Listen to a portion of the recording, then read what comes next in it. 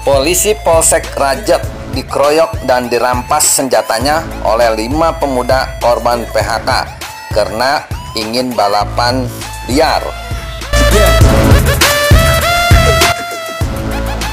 lima orang melakukan pengeroyokan, melakukan kekerasan secara bersama-sama di muka umum di PHK, PHK pabrik. Kamu? Hah? Pabrik. Terhadap petugas anggota sat- eh, unit reskrim Polsek Rajab. Itu menjadi korban penganiayaan dan eh, senjata dinasnya yaitu jenis sabar P2 ini.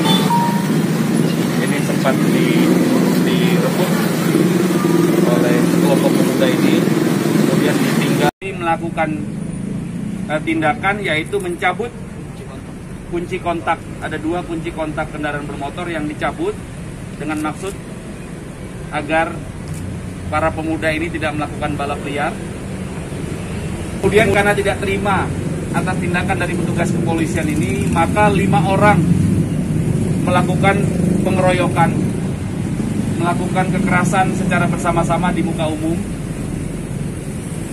Empat tersangka sudah kami amankan. Satu tersangka masih DPO, masih kita kejar. Empat tersangka itu antara lain adalah saudara MT. Ya, saudara MT ini perannya adalah menarik-narik senjata anggota kami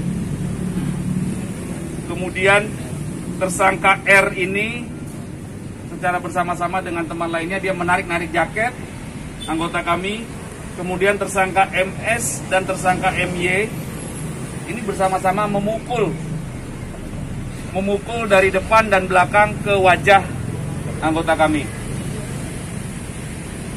Kemudian atas kejadian tersebut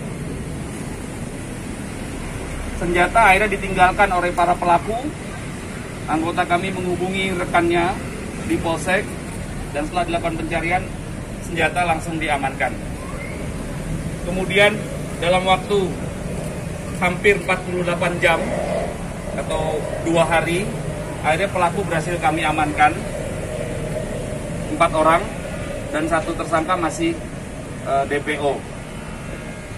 Terhadap para tersangka kami jerat pasal 170 KWP tentang ke- kekerasan secara bersama-sama di muka umum dengan ancaman pidana maksimal 5 tahun dan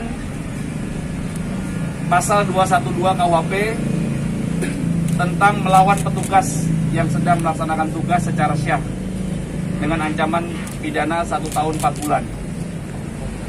Kemudian pada kesempatan yang baik ini kami izin mengimbau kepada masyarakat agar mari sama-sama kita ciptakan situasi yang kondusif ya. Para pemuda hendaknya berpikir untuk masa depan ya untuk masa depan.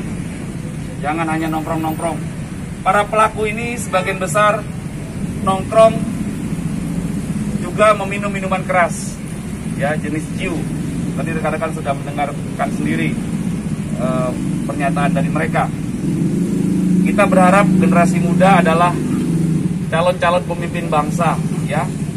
Kita isi waktu dengan sebaik-baiknya dengan kegiatan-kegiatan yang bermanfaat kami tidak akan bosan-bosannya dan tidak akan henti-hentinya untuk melakukan himbauan-himbauan dan edukasi. Apalagi di masa adaptasi kebiasaan baru ini kita terus melakukan himbauan. Terima kasih rekan-rekan. Ya sebagian sebagian mabuk ya dan sadar ya sadar. Mereka tahu bahwa ini adalah seorang petugas kepolisian yang sudah memperkenalkan diri dan senjata juga terlihat di depan badannya. Buktinya apa? Bahwa sebagian besar melaksanakan himbauan anggota kami dan pergi meninggalkan tempat membubarkan diri. Namun lima orang ini saja yang melakukan eh, penganiayaan. Sebagian besar belasan orang lainnya mengikuti himbauan petugas kami. Mereka ini pelaku balap liar atau yang nongkrong? ya mereka adalah pemuda-pemuda yang nongkrong ya di hari Minggu jam 3 pagi. Hari Minggu jam 3 pagi. Nongkrong sambil eh, minum minuman keras. Pak umurnya Pak? Eh, rata-rata lahir tahun 97 ya berarti 23 tahun. 23 sampai 21 tahun usianya. Yang, yang DPO itu apa pernah melakukan tindak pidana sebelumnya? ini masih kita cari ya. Belum sementara belum. Tujuan senjata kan kenapa? Tujuan merampas senjata? Ya mungkin dikhawatirkan melukai mereka ya. Anggota membela diri makanya dirampas tapi setelah itu ditinggalkan. Ditinggalkan 5 meter dari TKP ditinggalkan tidak dibawa. Magazin dan eh, anak peluru masih aman. Tidak tidak dalam penguasaan eh, para pelaku. Ya, jadi hanya senjata yang dirampas kemudian ditinggal 5 meter dari TKP Ada himbauan untuk anggota polri ketika dalam patroli? Ya, eh, kami terus melakukan edukasi dan pelatihan kepada anggota, ya agar anggota senantiasa selalu siap siaga, ya siap siaga, sehat dalam melaksanakan kegiatan melindungi, melayani dan mengayomi masyarakat.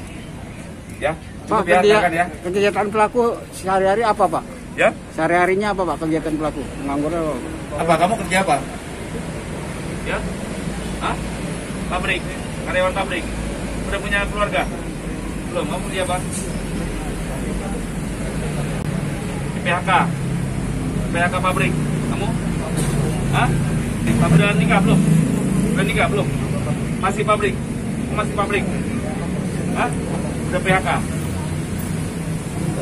Ya, isi waktu yang bermanfaat ya.